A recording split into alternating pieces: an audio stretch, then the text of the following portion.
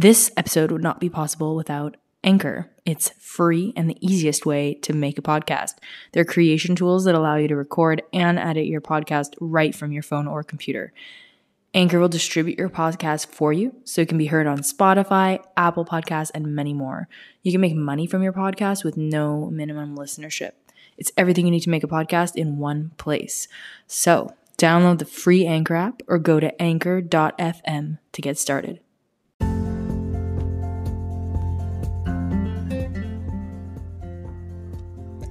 Welcome to Lead Today with me, Kalyna. Let's talk leadership.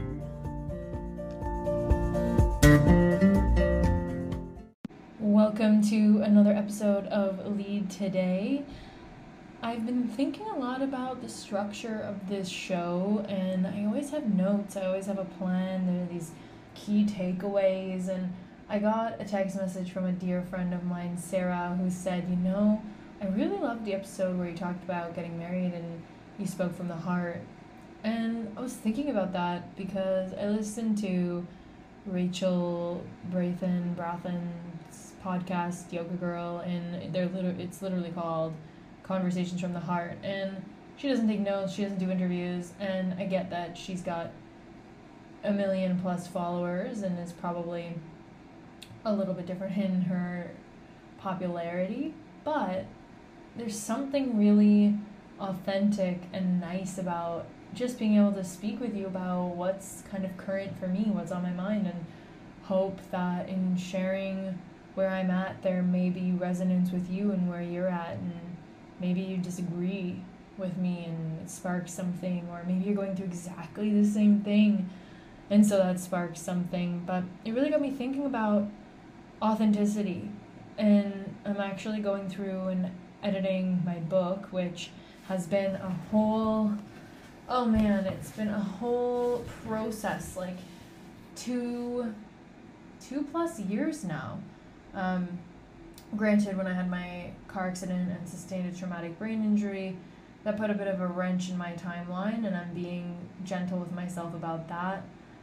Oh, talk about authenticity. I think it's so challenging to say that we need more time, more rest, that we're not going to finish, you know, by the deadline, ooh, and there's this big consequence, and it's scary for the people that have supported me, for example. It's scary to think about what they are going to think, and that's actually a really interesting connection back to authenticity because when I'm so focused, or we, if we focus so strongly on what everyone else is going to say, being authentic becomes really hard and so I almost see it as an equation in my head, this kind of, you know, judgment.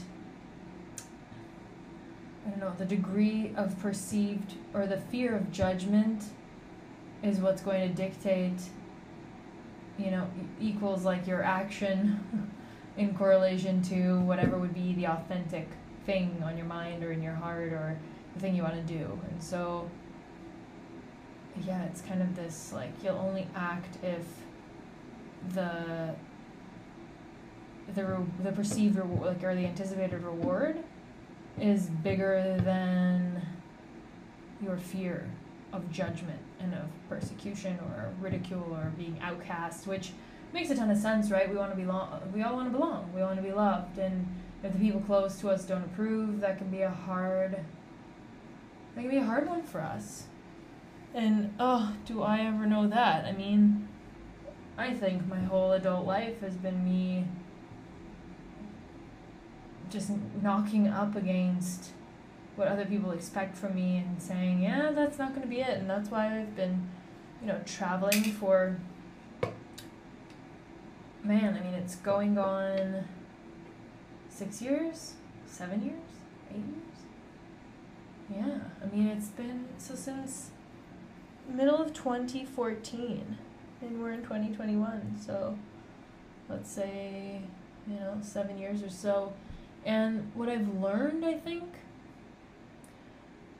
is that actually i'm going to disappoint people no matter what.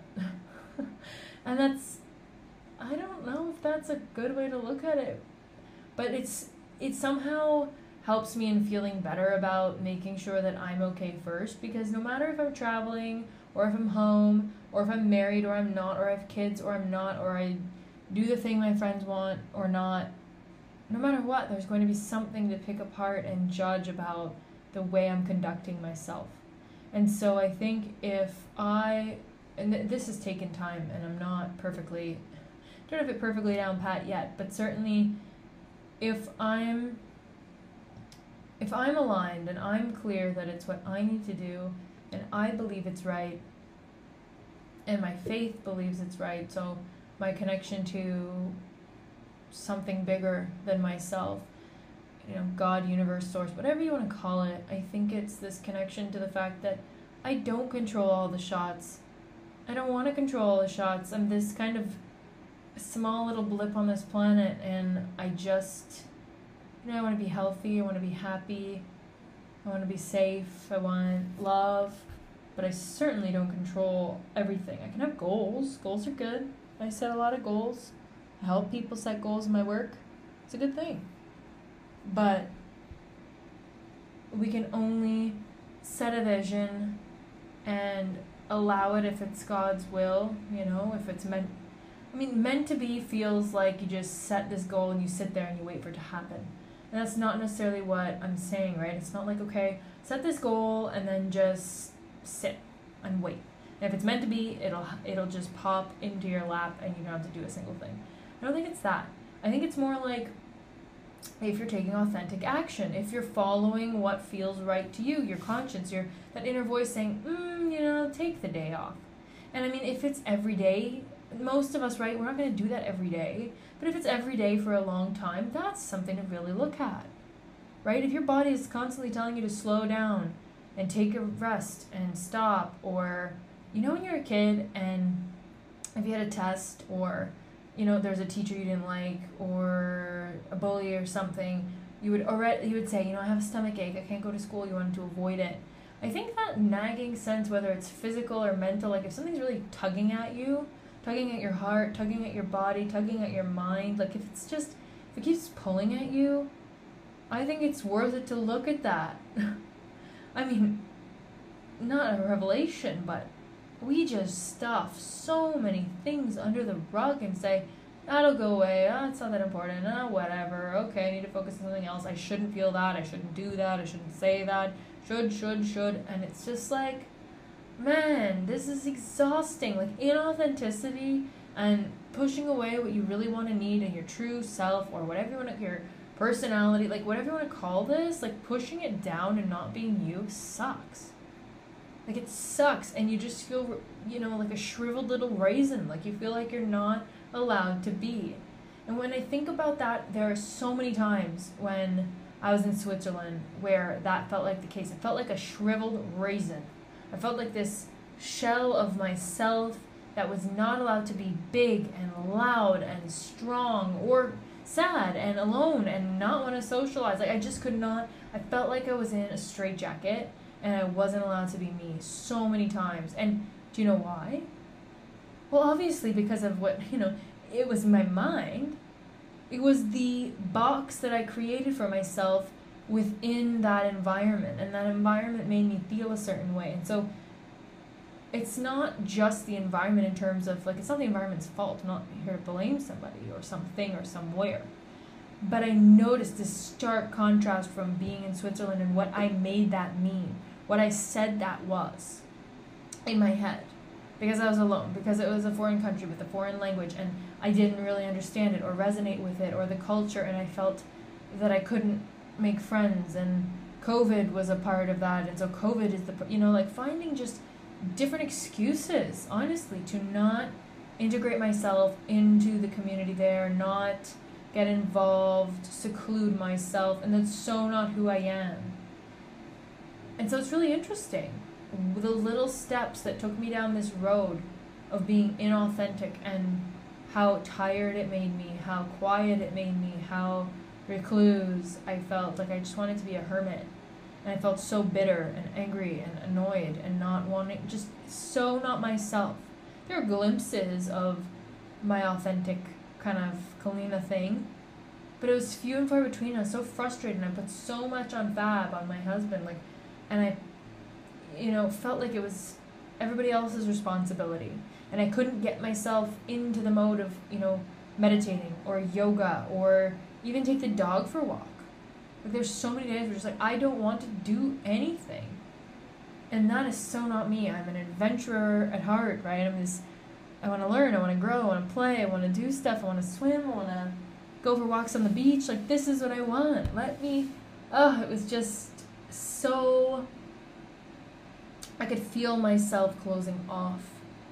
And that to me that that whole description I just gave you to me is such a clear example in my mind of being inauthentic, of not letting your heart show. And today I'm joining you from lovely Jaco, Costa Rica, and it's actually raining really hard outside. It's rainy season. Yeah, I look outside and it's like a downpour. It's really warm, but it's this downpour. And the ocean is nearby, just outside of the co working space that I'm in. And I just went swimming a couple hours ago and walked the dog and had a steak. And I'm recording this feeling like me. I feel lighter. I am admittedly still a bit tired from the jet lag, I will say. Eight hour time difference will get you in the first couple days. But my heart feels open and full, free, I feel safe. I feel like me. Like I just want to sing and dance around and play with the dog in the sand. I want to play volleyball. I want to swim. Like I was catching waves. It was so fun. I'm not an avid surfer yet. Need some lessons. Actually, the first time I tried surfing was in Cost- uh, in Colombia. In uh, where was I? Santa Marta, I think. Oh, it was I, I was tragically bad. Like it was, but I only went out a couple times, and it, I had to go out so far. I had to swim out get out so far to then come back in, and it was just like all I can tell you is washing machine, right? Like just tumbled, tumbled in from the. Tried to get on the board, did not happen. Me and the board, you know, split across the beach, sand in every place that's humanly possible. And my bathing suit top was like down to my belly button. So the surf instructor was like, mm, and he put his board in front of in front of himself to block me and let me pull it back up. It was embarrassing to say the least. but but but but I feel like I'm in the same zone that I was in when I was, you know, in Colombia or traveling around. And I mean, anybody that knows me like you do will know that the beach is my sweet spot. So if I'm near sand, everything is so much better. So that's a clear indication because Switzerland, while it has stunning lakes and mountains, has no sea, there's no ocean going on, and that is such a force for me. Like, I feel, oh, I love the power of the waves, I love the sound of the waves. Like, I've been working outside in this cafe earlier today before recording this. Um, if I recorded it there, you would have heard very loud, amazing music. But uh, hearing the sound of the waves, looking at them, palm trees, sand. It's just I feel like it's me. Like I was meant I don't know, was born in Canada, for God's sake. Like it's cold, icy. It's hot in the summer, granted, right? But I don't know. I was meant to be a beach bum for sure. So that's part of it. I'm happy to I'm happy to be in my natural habitat of sorts, if you will. I, I enjoy the water but I just feel, you know, I've got a car here. I feel autonomous. Feel like I can go down the street. I can meet people. I can talk to people. Everybody's super friendly. Um, this hotel, people are, you know, it's like a nomad kind of place. So everybody's really chill. There are people either working or hanging out by the pool. People will talk to you. Like it's just so my element. And I just want to meet people and explore and enjoy. So if that didn't serve as my Costa Rica advertisement, I don't know what will. I'm not being paid to sell you to come on a trip here, although we do have an extra bedroom. So if you happen to want to fly down for two weeks and you hear this like instantaneously, come on down. But um, yeah, it's this notion of authenticity being very much so linked to judgment and then also linked to opening your heart. Like I in examining this characteristic and again so I started chatting about my book that there is a chapter on authenticity in the book and I sort of I had to rewrite some parts and edit some parts for my editor. We're resubmitting to we've got about I don't know, fifty publishers interested or something and, and so but we need to complete the manuscript and it needs to be pretty polished for the really great publishers to have a look. Secretly or not so secretly i am my heart is like dying for hay house to accept my book. That would be my dream. I just love most of what they produce. I mean i haven't read it all so i can't say everything but so many i mean louise hay herself is just legendary. Um, i would love to be published by hay house. Oh my dream so yeah, the the book on the chapter on authenticity really was tripping me up. I couldn't place my finger on it. Like I haven't felt like I can articulate what it even is to myself, let alone in writing, because I just felt so. I felt like I wasn't in that place. I couldn't connect to the feeling. Like I, I mean, rationally, I know what authenticity is, and I knew it. It's not like Switzerland robbed me of my understanding. I had experienced it before, obviously and there were moments of authenticity in Switzerland, but I didn't give myself the green light, the permission. I didn't allow myself to be authentic there because of a fear of judgment, because of the local culture being very different from how I am. And so over time, of course, we adapt to our environments, and that's actually a very good thing biologically, of course, because we want to fit in, back to belonging and love, back to, you know, not wanting to be this outlier. But then in the final weeks of being there, just sort of thought, oh, forget it. I'm not going to put on this face. And of course, we need to, in some instances, look at the filter that we're being through, the lens that we are operating at. You know, like, okay, if you go to lunch with your grandma or you go to a job interview, obviously, the job interview, you want to kind of sharpen up a little bit. Like, you're not going to show up in jeans and flip flops, probably, depending on where you are um, you know, and just kind of shoot the breeze with as you would with your grandma and be informal. You might want to articulate yourself a little bit more succinctly and show up with some research being done or some talking points or some questions you have for the company and be prepared. So that doesn't mean that you're being disingenuous, right? It means that you're preparing for the scenario and the context. I think behaving in a context specific fashion is actually necessary. But you can choose how you do it right? Because everyone will approach that interview differently based on who they are. So like it's this authentic approach toward the context that makes us unique. Because there are some social norms and confines by via which we operate in different contexts like we know that we can behave in certain ways but then how we behave within that sort of within the parameters of the situation is where our authenticity shines right? Because we don't all do things the same way even if there's a convention. I don't know i'm just thinking of eating a hamburger because I just had lunch and Fab had a hamburger but you know like there's so many different ways to eat a hamburger and none of them are inherently wrong but there's certain sort of parameters around how you would do that. And i think that what I recognized is that rather than taking the parameters of the situation in Switzerland and saying, okay, within this culture, within these parameters, how do I operate? Instead of doing that, I just sort of said, oh, the way that everyone here operates within the cultural parameters does not resonate with me. And so I'm just going to shut myself down because I don't fit. I can't operate in the same way under these parameters. Like, I can't do what everyone else is doing within the context. Instead of saying, okay, people are a bit more introverted, well, a lot more introverted depending on where in the world you are. Um, they take longer to open up to you. They open up more by association. So if you are introduced via a friend, they'll be more open and trusting toward you initially. Like figuring out the social norms, saying, okay, here are the parameters, so let me leverage the local connections I do have. Let me integrate myself. I mean, I was in a couple of local communities, like women's groups and stuff, and I just never kind of, I never even met anyone. Like, I was in the groups online, I just never went to meet anyone. My business chiefly was in, in an accelerator in Zurich.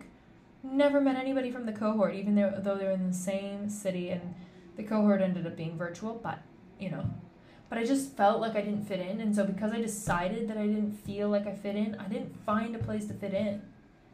You know, COVID or no COVID, like restrictions, lockdowns or no, like there were still ways that I could have operated within the parameters of the environment, of the social norms and, you know, un- I guess implied rules or sort of implicit rules that people kind of operate under there. I could have but I decided that I didn't know how to operate in that sandbox, and so I didn't.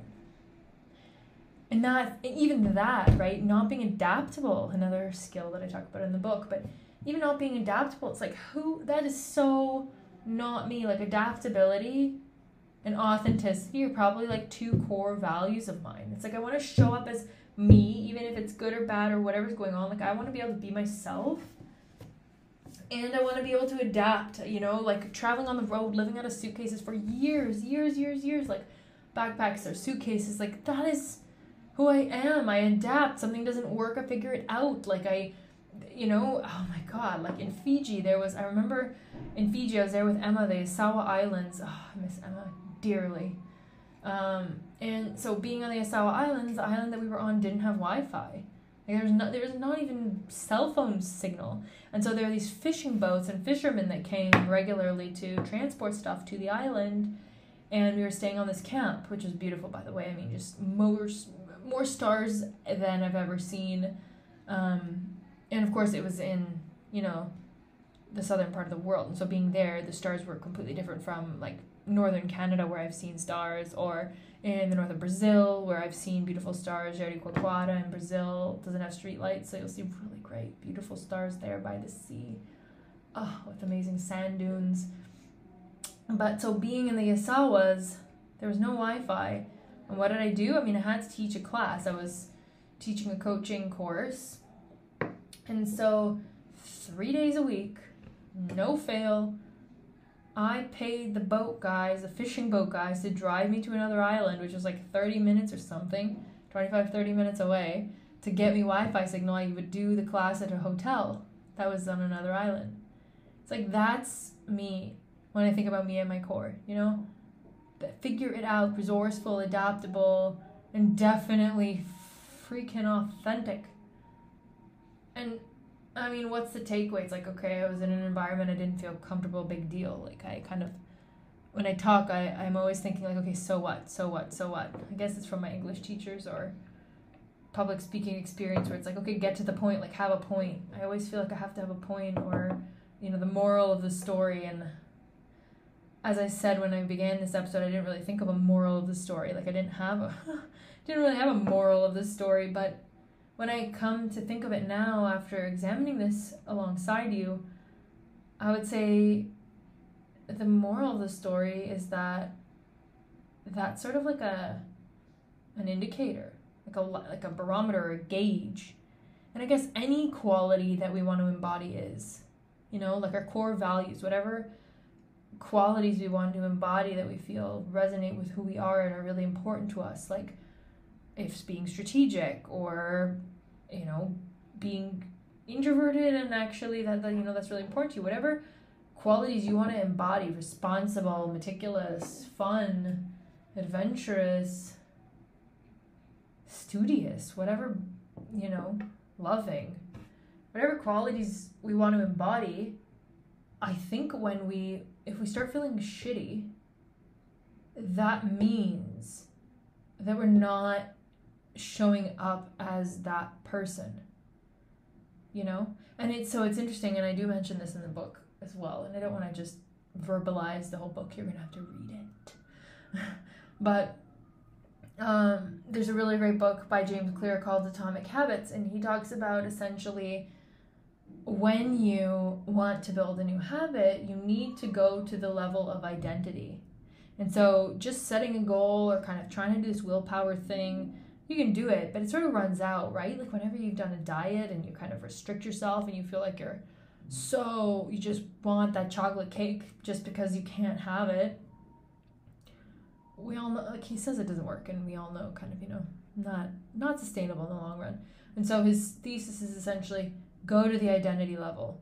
Say that you're a runner and then do things that you believe runners do.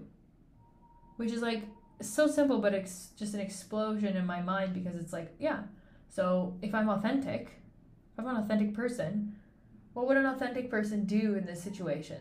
Whatever it is. What would a kind person, what would a patient person, what would a um, loving person, studious person, responsible person, meticulous, whatever kind of words are coming up for you, like what would they do in this scenario? And if you're constantly moving away from it, definite cause for concern, um, as I have noted. And you know, environment does matter.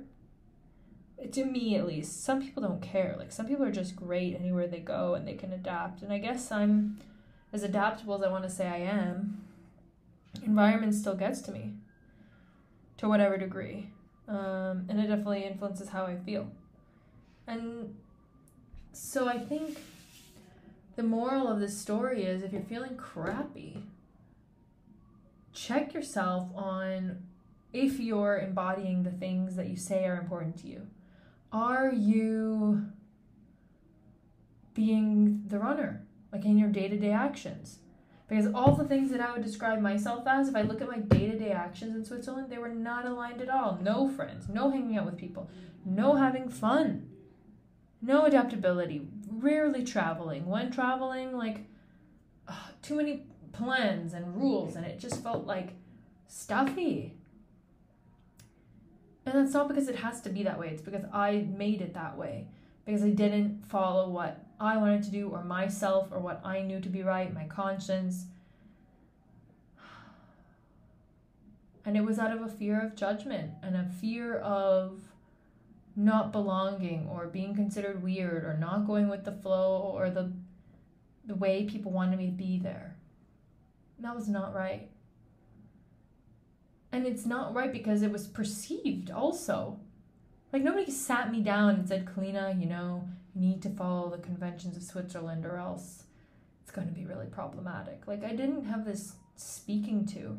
I mean, I did have people say, you know, Swiss people are not as open initially and you're going to need to give them time and they're not as trusting, so you know, take it easy. You're this uh, quote unquote American, which I'm Canadian, but you know, North American culture, like pushy or too open, too extroverted, too forthcoming, it's too much. And that's what I felt like there, too much. And it's like I don't think I'm an abrasive I mean, I don't think so. I don't think I'm an abrasive, annoying, loud, boisterous person to the point of being distracting to people in their day-to-day lives. I think I'm just friendly and charismatic, extroverted, open, I mean, extroverted, oh, okay. That's a whole other discussion because this whole extroverted, introverted, like you get energy from being around people or you get energy, energy from being alone. Like, I think I love being around people, but I need to be alone to recharge my batteries. I love alone time. I love, love, love being alone. Just like watch a movie or journal or do some of my things. Like, I love being alone. And I need it if I'm around a lot of people.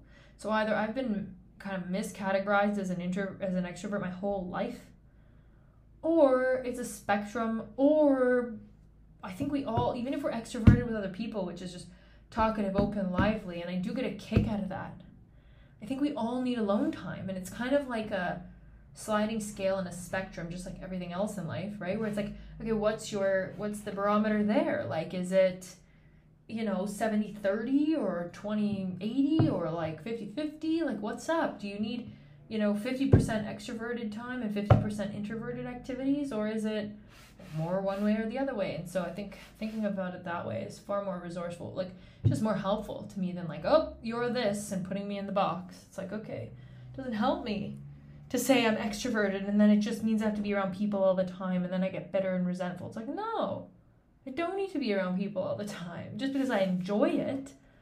It's like I enjoy a lot of things. I don't want to do them 12 hours a day, right? And that's another thing, man, like being able to just say, I don't like that. I don't want that. No. That's so flipping hard. Like, oh my God. I don't know what it is about showing up and just, uh, that's another thing in Switzerland. I didn't feel like I could say no. Like, I had to be this nice girl and some, oh, fuck. Like, it was some kind of crazy persona. And the thing is, it's not like I was trying to be fake. I didn't feel like I had permission I didn't feel like I could because I felt like it was too abrasive. To say, no, I don't want that. No, I'm not okay with that. No, I'm not going there. No, I'm not doing that. Or, yes, you know, I'm, I'm getting a car, I'm getting an SUV, even though you disagree with it because it's not environmentally friendly compared to taking the train. Like, I didn't feel like I could dissent against people's opinions. It's like, since when? Nobody is ever going to agree with everything you say. Like, in what relationship have you ever had? Like, I've never had a relationship where I didn't potentially really love the person, but also say, you know what, like, I completely disagree with you here. We're just gonna have to agree to disagree. Or we can talk about it, but it's still, like, even after listening to you and opening myself up to new information, I'm not convinced and I'm not going in that direction. Like, uh, a big deal.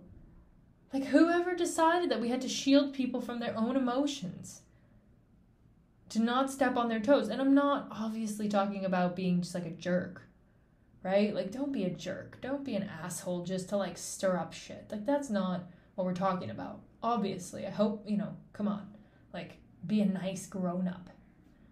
But you don't have to cushion people from your own decisions. You don't have to be shameful for your own damn decisions. Like, I'm doing the, I'm getting the damn SUV. Because I want an SUV, I feel safer in it because I had a car accident, because I sustained a traumatic brain injury, okay? Because it's so I feel safer and I'm going to do it and it's my choice. You know? Like, God, and it's not meant to be rude. It's not meant to be rude or condemning anyone else or, you know, I'm not judging anyone else. Like, go ahead and drive your moped or take the train or walk or bicycle. Like, do you. Do what you gotta do. I'm not here to judge you. But for God's sake, don't insulate, you know, who you are in the fear of judgment from other people who are not even going to be impacted by your decisions. Oh, to say that out loud. Like it's it's not for anybody to decide for us. And historically have been very good at saying, you know, this is my choice for me because I'm the one that has to live with it every day.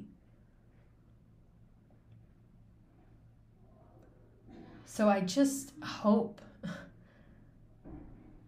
that you're making decisions for yourself every day. Not to be a selfish asshole, but to be a considerate person toward yourself. Because if you are not being considerate toward yourself, if you are being disingenuous or inauthentic, closed off, heart, you know, shut down, that's not cool for you or for anyone around you because I can assure you I have not been a peach to be around the past few months. I've found very little joy. I've been in a dark hole. And so nobody benefited from me not shining the way that I do. I just got something in my head that I was protecting people from something in the way that I am being. But nobody was protected. It just impacted me negatively and put a dark cloud over myself. So, you know, I mistakenly thought that by playing small and not shining too bright or talking too loud or doing too much, that I was going to protect myself from something.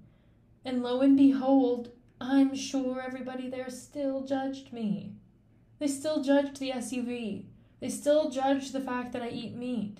They still judged the fact that I'm loud or louder or more forthcoming and open and talkative. They still judged me, even when I went from 100% to 20% or 10%. They judged me because I was recluse, because I wasn't being social. They judged me. They are going to judge you too. But really, judgment, I think, is just people projecting onto you what it is that they are suffering with. And so, what could I have done?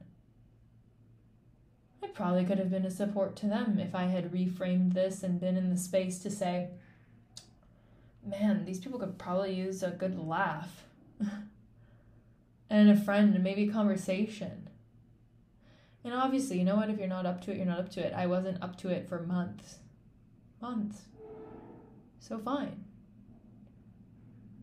But I really hope if this if you're somehow listening to this and there's a, you know, there's a sign and you're like, "Man, I've been so I've been playing so small in this part of my life because I just don't want to get in shit. I don't want people I don't want to fail. I don't want people to judge me. I don't want to be wrong. It's like, so what? People barely remember what they ate for lunch, let alone they're to care what it is you did. And if they do, let them harp on you. It's like, oh my God, go, you will already be moving on to the next thing. So if something you do doesn't work out, let them talk, let them judge, let them, let them, let them make you the topic of conversation. Because, well, you've got other shit to do. you don't have to sit in it, sit in your stew as well. You know? I mean, okay, it's not a cop out to not learn. Right? I'm not saying like, okay, I'm learning from this experience. I'm learning from the way that I behaved and the things that troubled me and the challenges I had. Like I'm sitting here unraveling it with you, saying, here's where I went wrong. Here are the things I can take responsibility for. Here's how I brought this upon myself. Like, here's how I contributed to this, right? I'm not just sitting here going, Switzerland sucks and this is all the place's fault. Like, that's so not true. But at the same time, so learn from the scenario, but there's no use in harping on the fact that these 20 people or 30 people or 100 people or however many people or two people, one person. Like, it's usually, and that's the funny thing, right? It's not usually 100 people that are judging you, it's one or two or three people that you really hold in high esteem, whether it's your parents or your partner, or your friends, your close friend, right? A work colleague, your boss, like somebody's judging you where you're like, oh, I have to care what they think because they are X to me, right? Whatever. They are this particular relation. And I think that's one thing that really helped me was traveling allowed me to sort of distance myself from that. So if I distance myself from the judgment, I think it's what helped me to have a bit of a stronger shell around myself. But this is where my other learning is. Is at the moment I put myself back in that environment or back in a, an environment of sorts where I don't have the physical distance and the armor of that distance, let's say, the protection of the fact that I'm not in the proximity to I'm not in proximity to the people that are judging me and then I'm letting that in. I think I think that in making that space, physical space from the people that I felt judged by most or I held in some sort of esteem to allow them to influence my behavior and my perception of myself, my self worth, and my dignity and my authenticity. Like those people, I think it's going to take a few things to really bolster myself so that in being in physical proximity with them, it can be okay. But you know what? There's certain people where it just might not be. And so maybe putting yourself, you know, not right in the crosshairs of that experience is a start. I think that's for me a start. Until you can sort of take that emotional charge out of the equation you know, it's just so emotionally charged, and then it's like, well, yeah, I can't I can't reckon with this as close as it is to me. It's so close to me that I don't have the perspective to see. So I think the distance does create something strong and I think that small doses it's like I don't know, caffeine or alcohol or any any kind of thing that's detrimental to your system where you feel impacted by it negatively. It's like, okay, well then limit your intake. You know? So I'm hearing, I don't know if you're hearing the background, but I'm hearing the gang wanting me to get a move on. So I'm going to leave it at that a contemplation on authenticity, what it means to be the real you, the real me, the real, showing the real, even though it's scary as hell. Because there is a 100% chance of judgment 100% chance. Even if it's unconscious in the minds of others because we're judgmental beings looking for problems, we're looking for things to solve, we're looking, we're analyzing, we're analytical. But that's fine because that doesn't need to become who we are. Somebody else's judgment doesn't have to become who we are. And we need to find ways to insulate against it. And some of the ways to do that are distancing, are creating some sort of boundaries around that person, whether it's physical proximity, emotional proximity, what you share with them, frequency of contact. All of those things can create a nice insulation against the feeling of allowing that person too close in. And then of course there are oh, there are all kinds of like meditations or grounding techniques or like visualizations as well where you can kind of visualize ways like things around you or kind of get yourself you kind of get your head in the game before you see somebody that you know is kind of triggering and frustrating or that you seek to please or you feel judged by. And i think journaling or talk therapy is another really cool thing. Like i mean talk therapy like just talking it out with yourself. Like i know it's kind of a weird thing to talk to yourself but actually doing a voice note and just talking to yourself kind of like i am right now is such a brilliant way once we say things out loud there's some phenomenal thing that goes on in our mind where we just kind of sort things out we kind of tease out the details and sort it out and clarify it in our minds. And I think there's something so brilliant about doing that. So, whatever the way that you kind of parse through these challenging relationships or environments, I wish you absolute patience and gentleness with yourself. It's so easy to beat ourselves up. Not worth it.